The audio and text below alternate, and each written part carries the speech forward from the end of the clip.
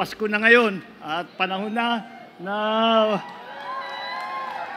kahit hindi natatapos yung, yung trabaho natin, at least ay meron makapag-celebrate tayo ng konti. At kami naman na namumuno ng Office of the President, lahat po na nandito, ay ito na ang aming paraan upang magpasalamat sa inyong lahat sa inyong napakagandang trabaho na ibinibigay. Hindi namin kahit gaano ah, kasipag, kahit gaano kagaling ang ah, namumuno kapag kayo ay hindi rin masipag at hindi rin magaling, hindi natin nagagawa lahat ng ating kailangan gawin para tulungan ang ating mga kababayan.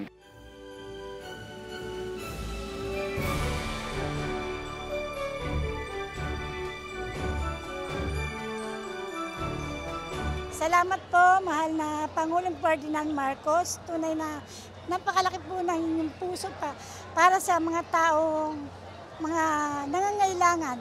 malaking tulong siya no kasi nga um yun nga mabilisan na lang yung pag-avail ng mga services like uh, driver's license, passport. Hindi ka na uh, like pipila pa sa mga uh, pupunta pa sa malalayong department no para kumuha lang ng mga service na yun. Nandito na lahat sa isang lugar.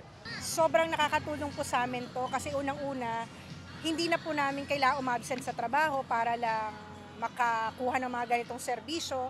Yung mga anak ko, hindi rin po nila kailangan umabsent sa school. Saka isa po sa pinakamahalaga, nagkakaroon kami ng time para makabanding yung mga anak namin. Kahit na nagtatrabaho kami the whole week, meron kaming time, special time kasama sila. Ang bagong Pilipinas para sa akin, mas matatag na pamilya, mas matatag na hanap buhay, at saka yung mas matatag na pakikisama sa bawat isa kahit hindi mo sila kilala.